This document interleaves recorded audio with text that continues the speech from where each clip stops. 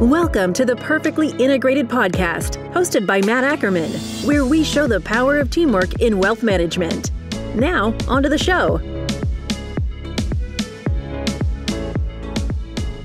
Talent. These days, finding it's hard, attracting it's harder, and keeping it, well, that can be darn near impossible. Why is it so important? Well, according to uh, McKinsey's study, superior talent is up to eight times more productive. The best people bring great ideas, work harder to accomplish those ideas, and most importantly, inspire, inspire other people to join them. Welcome back to Perfectly Integrated. I'm Matt Ackermann, and today I'm thrilled to be talking talent with some really talented people. Uh, I'm joined today by two people that I've gotten to know for a long time here in the industry Andree Mohr from Integrated Partners and Liz Manibay, my good friend from Schwab. Both of you, welcome. Thank you, Matt. Thank you. So, before we get started, I wanted to ask you both to think about an amazingly talented person that you've had the pleasure to work with in your career. What sets that person apart? What characteristic really stands out? Liz, I'm going to go to you first. Think about that person what about that person what that talent what makes them really stand out i think about this person that i used to work with at a former firm i miss him tremendously and i would characterize him as a good person at the core of him he's kind enjoyable to work with he was a team player reliable super super reliable he did what he said he would do when he said he would do it that's rare. His work ethic was impeccable. He went above and beyond the task at hand all the time. And then one other characteristic I would say is his presence. I could take him to a meeting and be with C suite executives, and he would fit right in, all the way to other people throughout the organization. He could just fit right in, and he just was able to have those conversations and just have that presence that um, is memorable and impactful. How about you, Andree? What do you think? What stands out about this amazing talent in your head? Mine is it's how they make you feel. So we have an amazing talent here at Integrated, and it's all about how he makes people feel and how he supports everybody. Even if somebody else did something wrong, he's there to support them, lift them up, help them work through all of the situations, never makes them feel bad about anything, but always makes them feel good and supported. So, those I think are some of the things that you remember the most. It's not what people say, but it's how people make you feel. And that's, you can't teach that. So, that's a really important skill for a talented person. I feel the same way. Some of the best people I've had a chance to work with in my career, it's, it's oftentimes how they make you feel. It's, but it's also, you know, that those i think about some of those things that reliability that work ethic and sometimes that's hard to nail down when you're interviewing people like with the way they're going to make you feel and the way that work ethic is doesn't always come across in an interview. When you interview prospects liz and what are kind of the characteristics you're looking for so that you can get that attainable work ethic and presence that you're talking about? How do you draw that out in an interview? Yes. Well i recall my interviews, my set of interviews when I first started at Schwab, and only interviewed with about 12 people. So, in addition to assessments and things of that nature, I mean, it's really meeting different people that the person will be interacting with, working for, and with, and getting that feel to your point, Andree. How do they make you feel even in that interview setting? Not only just that first impression, but do you feel really good around that person? Are they, yes, giving good responses, but are they genuine? So I think it's asking the right questions. I think it's about providing maybe situations in those interview questions that get out those kinds of characteristics that you're looking for.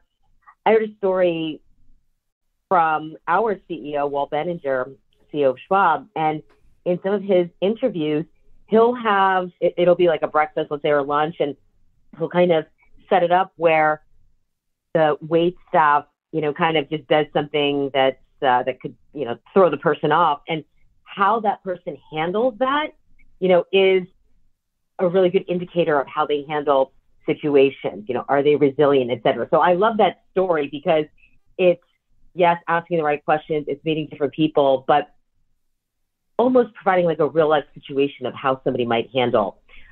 In terms of assessments, we at Schwab talk to a lot of our clients around what they're using. So RAs are using Kolbe from a hiring standpoint, since that's uh, legally and statistically valid and reliable. So I think there's something to be said for different types of assessments when you're trying to look at you know how people are wired what are their default go-to's when they're handling situations the first time I met Liz, we were on a Zoom call and I saw behind her the Kolbe assessment.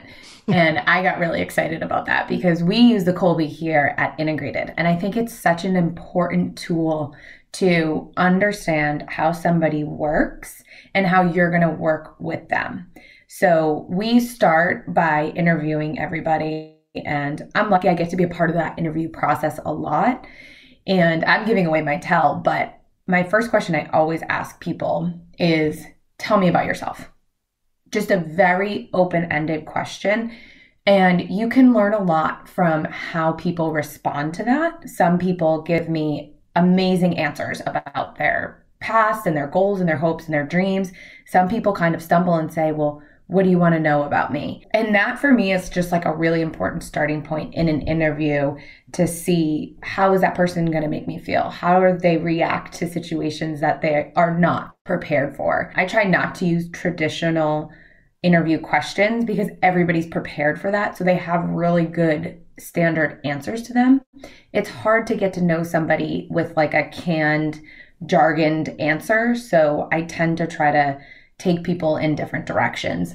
But once we like somebody in that initial interview, then we take it to the Kolbe because I might fall in love with somebody in an interview, but they're very like poorly suited to the role that we're looking to hire them for.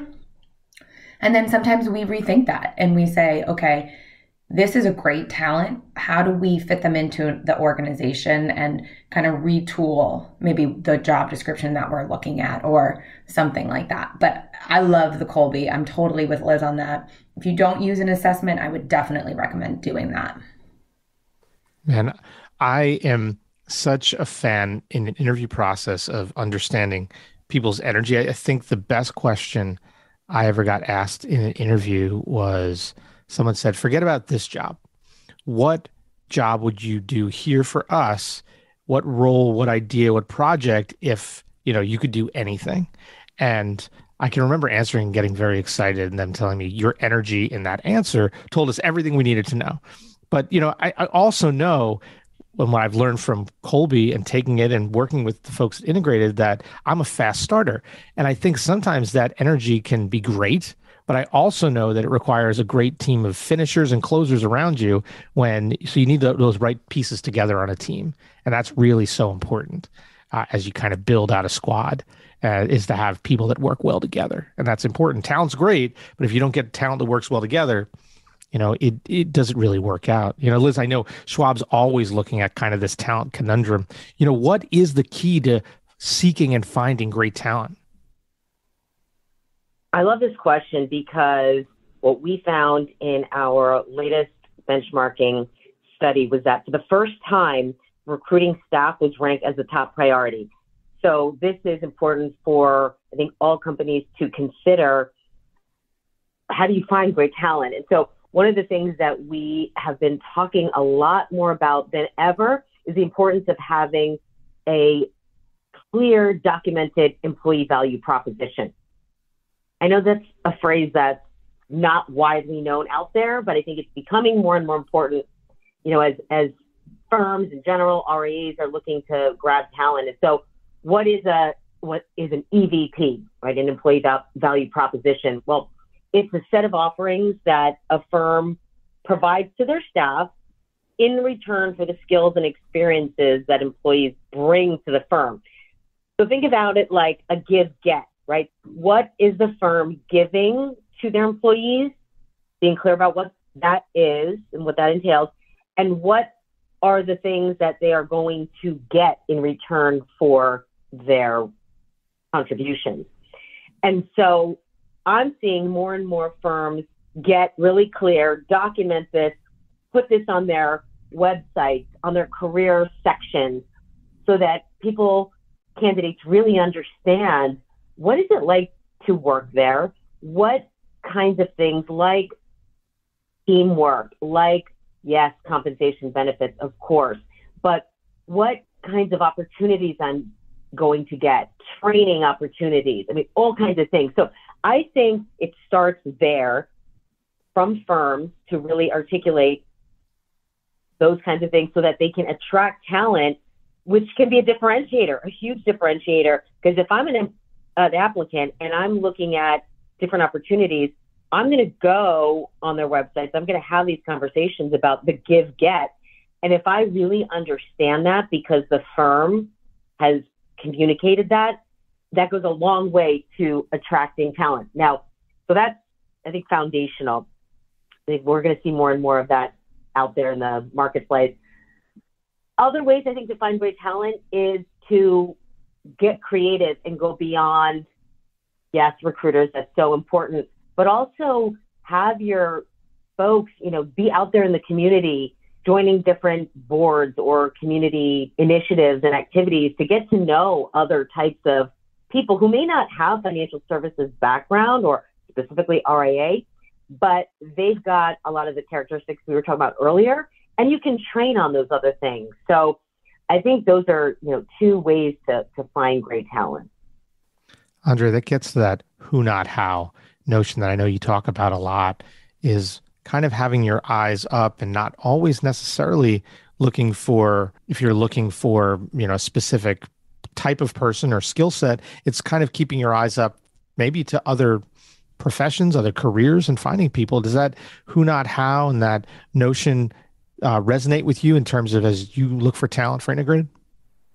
It definitely does because I agree that we i like i said if you find a great talent you've got to figure out a way to make them work within the organization and i do agree with liz that sometimes looking outside of our industry helps bring in new ideas new visions new processes but for advisors it can be hard because taking the time to train somebody they look at that and they're like i'm already wearing multiple hats i'm already caught up in the whirlwind to take the time to train and get this person up to speed can be overwhelming for people. But if you look at, Matt always says, we are the right firm for the right people. And I think he's so right about that.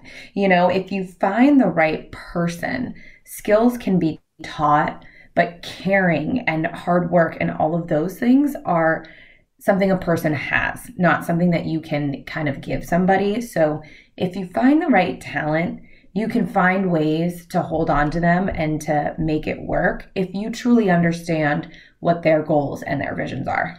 And Andree, finding great talent is one step of the process, but keeping them can be even more difficult. You know, you work with all integrated advisors across the country, 160 plus. Are advisory firms, from your experience, good at holding on to top talent? I think it's a challenge. You know, a lot of advisors, they do business planning and they do a great job business planning. What's my most important number? How do I want to grow? Things like that. But they tend to sometimes forget to check in with their teams. How are you doing? Are you getting what you need? Here's your growth path. Let me talk to you about if you take these professional development steps, we can move you into this type of role or that type of role. So, really understanding their team members and how they can best support them on their growth journey is important. But again, they're so caught up in what they're doing every single day. They're just doing the quick task check in versus the are you okay? What do you need to be successful? How can we make your role different, meaning better? For everybody. And so working towards common goals is really important, but making sure that all of your team members have their own individual goals that they're working towards themselves and then they're getting what they need.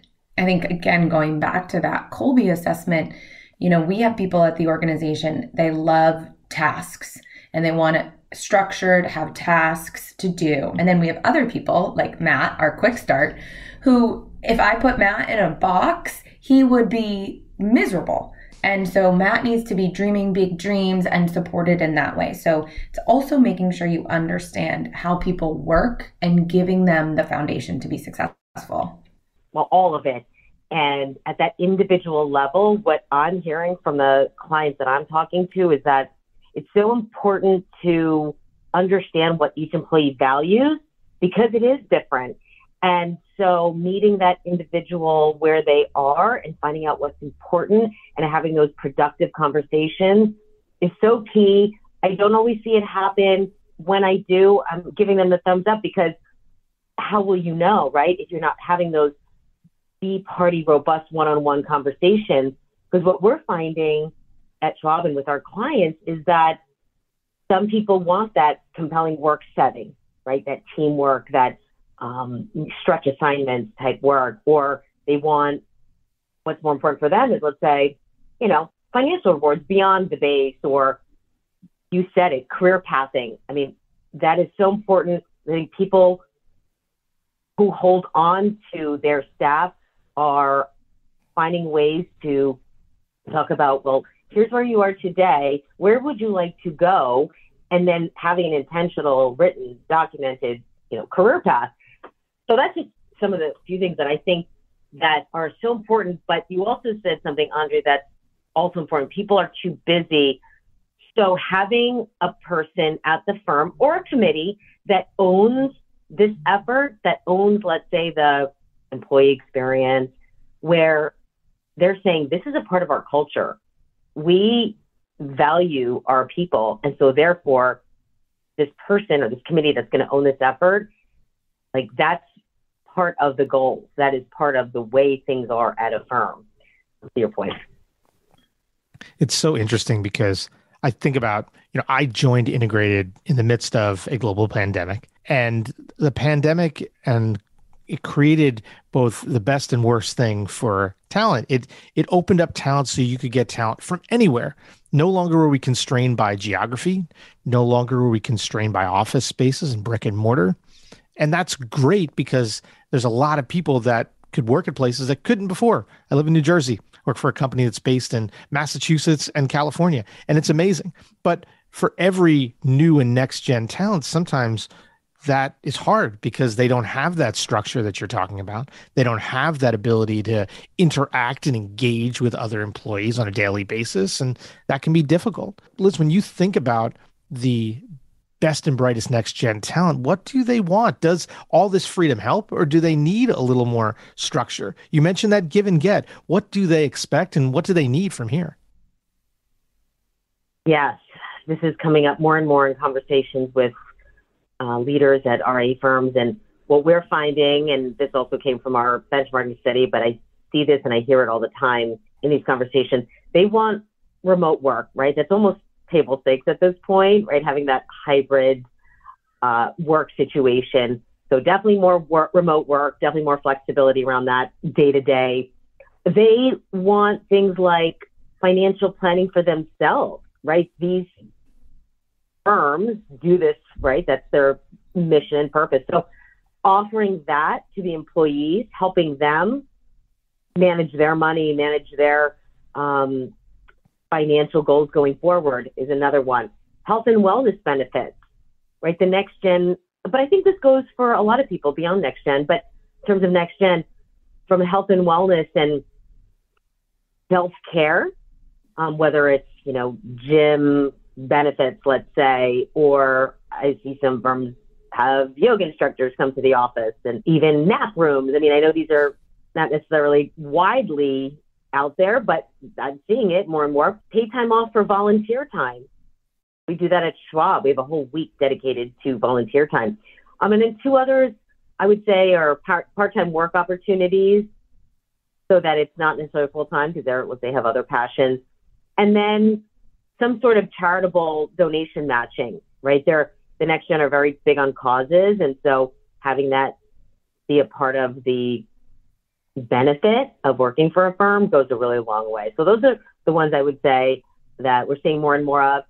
Maybe one other to throw out are, let's say, flexible Fridays or some Fridays off in the summer. I mean, that's always like a fun thing. I've seen that in the past, but I'm seeing it more and more. Andree, can small firms and it's, it's, some of these things are amazing but they don't necessarily have this the scope to do some of these elements, whether it be, um, hey, how are we going to um, have a nap room, which sounded really nice, or um, you know some of these other elements, a yoga instructor. But can small to mid-sized firms offer enough strong benefits to make them attractive to the superior talent out there? It can definitely be a challenge. I mean, we don't even have the same resources that Schwab has to offer all of these employee benefits. So it goes back to that customization, getting to know a person before they join the organization and then understanding what's important to them. I always say to advisors, there's levers you can pull to best support the employee and make sure you're getting what you need from them and they're getting what they need from you in order to feel fulfilled and happy in what they're doing. I mean, I think Liz is talking about summer Fridays, such an East Coast thing. I love that. But flexibility in work hours and then just providing flexibility in how and where people work and understanding them. You know, I might care about having time off to do charitable and you might care about having Fridays off to go play baseball with your kids, you know? So it's just figuring out what's important to that person, making sure it's fair across all of your team members, but giving people and pulling those different levers that you have access to that aren't always financial in order to you know meet somebody where they're at and be able to provide them something that will make them feel fulfilled. Flexibility is such an interesting word because for some folks it is a friday in the summertime. For others i mean for for me selfishly it is the flexibility of knowing from the moment you walk into a great opportunity and you say oh i, I pick my son up from daycare at five every day and having someone you work with say then you don't have meetings after 4.30 and just setting those kind of parameters that sets a great feeling for yourself. And then probably what you deliver on the back end was you know i tend to work more in the evening time when the kids are in bed and things like that. So i think having that kind of work flexibility makes someone very committed to a place because in their head they go i'm never going to have it like this if i go somewhere else. And i think you want that dedication so that when and you know every good employee is getting them some alert from linkedin saying hey here's another job opportunity you want them in the back of their head saying i'm not going to find a culture like this any other place. I'm not going to find other people that support me in my personal life like this. So they know because they know hey he may be getting his kids at 4.30 but he's going to be back on at 8 doing writing up something else or working on something else. So they they feel very confident in that. You know we, i mentioned the c word there Liz, and that's culture. You know, we talk about it a lot. You know, what defines a great culture? What is a great culture? So, a company culture would be a set of shared values, shared goals, shared attitudes, practices that are the DNA within an organization. And so, how does that show up? It shows up in things like the firm's dress code or how the office is laid out, the different, let's say, perks and incentives that the firm provides, the social calendar. I was talking to a firm the other day and interviewing a set of the employees, and I said, What's so great about working for this firm? And they named so many things, and it was wonderful to hear. And one of them was, you know, we have regular social events where leaders, everybody throughout the organization are invited to be there just so that they can get to know one another. So not only do they have offsites and lunches, but they truly get together in a way that you can really see that they value relationships. So that's another way it shows up. I mean, the office layout piece, it's so interesting, right? It's I'm seeing newer office space laid out where it's more collaborative in design. And so people can get together, they can ideate together, but they can also just hang out and, you know, just be colleagues and friends and, and talk about whatever it is that they want to talk about. So I think it's a big influence on, you know, how decisions are made, you know, how companies treat their employees. It's, it's just the way that the values of the firm show up. That's how I would define corporate culture. I would agree. I mean, I it's everywhere.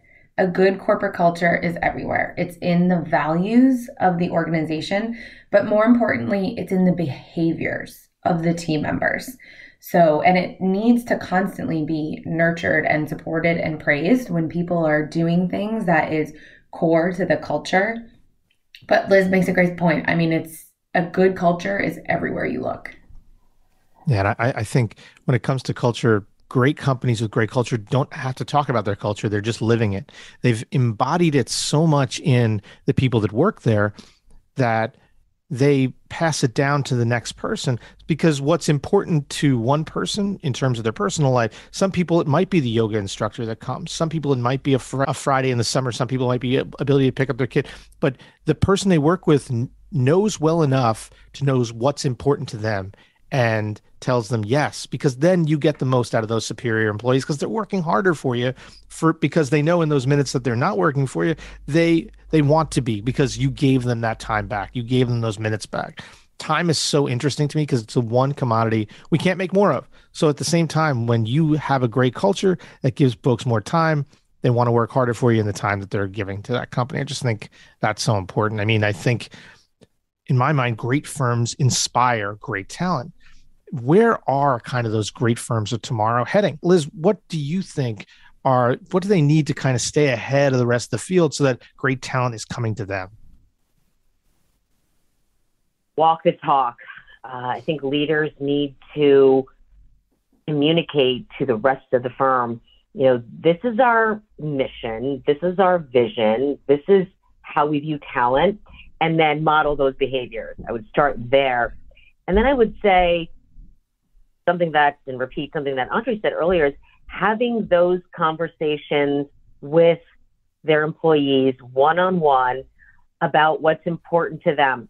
Giving feedback. I mean, I know feedback, you know, is like, ooh, you know, that can be a tough conversation, but employees really want to know what they're doing great, where they can improve upon, where they want to go in the future, what's their next career path, and what is it that motivates them? So I think it's having those intentional, really good, hearty conversations that, yeah, we're all busy, but they're so important and they go a long way that can differentiate, you know, one firm or one leader, you know, to another. So, Andree, I want to take you back to that person we were talking about at the beginning. You talked about the energy of this person, the presence they have in the room, to keep that person engaged, keep them energetic, keep them involved. What do great firms need to do in order to inspire them, to keep them engaged, to keep them sticking around for all the tomorrows ahead? This is a classic line, but it, depends. So it depends on the person. Like, I think it's really important as firms move forward that you individualize and customize how you're supporting your employees. So that meeting them and giving them what they need is important. But Liz said something that was great too. It's do what you say you're going to do. Be that person. You know, I always say words really matter. And it's all about, it's not just what you say, but it's what you do. Right. And so as long as you are giving that person what they need and you do what you say you're going to do, and people see that across the organization, I think that's really going to help to give you know people the opportunity to want to stay and then making sure that they feel empowered in their roles to do what's important to them. It's so interesting to me because you're speaking to me. As someone who's coached baseball for a very long time you can't coach every player the same uh, everyone has their own personalities you have to really listen uh, so that you can get the most out of every player. And that's really the same with great talent, whether it's on a baseball field or in a corporate environment.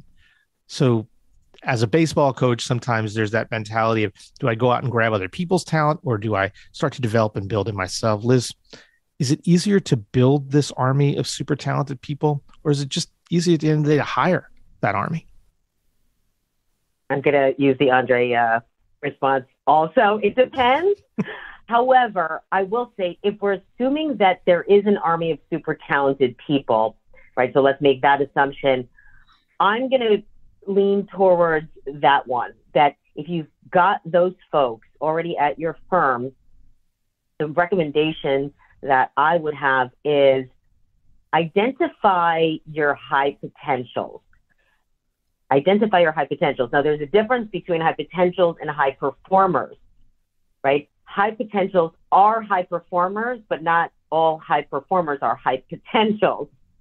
Hopefully, everybody's following me on that one. So, if you can identify those high potentials, what training opportunities, what assignments, what are these things that you can do uh, to to really nurture and build their careers so that they're in it for the long term. So I think it's easier to build an army of talented people if you can identify them first and then providing those opportunities to help them get better at their craft. Hiring, as we all know on this on this podcast and those listening, it's really hard. So it's going to be more challenging, right? Given the talent shortage, just given the fact that so many firms are hiring. So what's easier? I think it's building that army. Mm-hmm. Well, you both have given me such great insights today. You said it depends a couple times, but I knew I could depend on you both for a great conversation today. So thank you. Now, as my last question is always for my 10 year old son, CJ. Yesterday, though, was my five year old son, Ryan's fifth birthday. So I let him help me put together this last question. Uh, we were talking about, I told him we were talking about talent today. So he wanted me to ask you both do you have any secret talents? Liz, I'll ask you first. Do you have any secret talents that no one knows about? Or maybe, maybe, maybe just the audience here doesn't know about? Yes, I would say that my secret talent, my superpower is building relationships. I get energy from it. I love people. And so being around positive people and just nurturing those relationships is what I would say is my strongest secret talent. Nice. Andree, do you have any secret talents? Mine is bringing joy. I think work can be stressful and tedious, and it's important to foster joy and happiness in the workplace. So sometimes you might find me doing a high kick or a dance move to support somebody's win or just something positive that happens in their lives. Dance moves don't always translate as well over Zoom. Matt sometimes thinks I look like a robot, but I think it's important to bring joy. Well, you both brought a lot I of love joy. that. I think you both have done a great job today. You know, I, I as as a as a dad, I'm always trying to bring some joy and in keeping the relationships here in this house nice and peaceful too. So always a positive, whether you're talking about the business sphere or personal life. But both of you, thank you so much. Great conversation today. Thank you both. Thank you, Matt. Thank Liz, you. great to chat with you. Likewise. We'll talk soon. So today's been a great conversation. And thank you so much to our amazing audience here at Perfectly Integrated. This has been another great episode for Integrated Partners. I'm Matt Ackermann.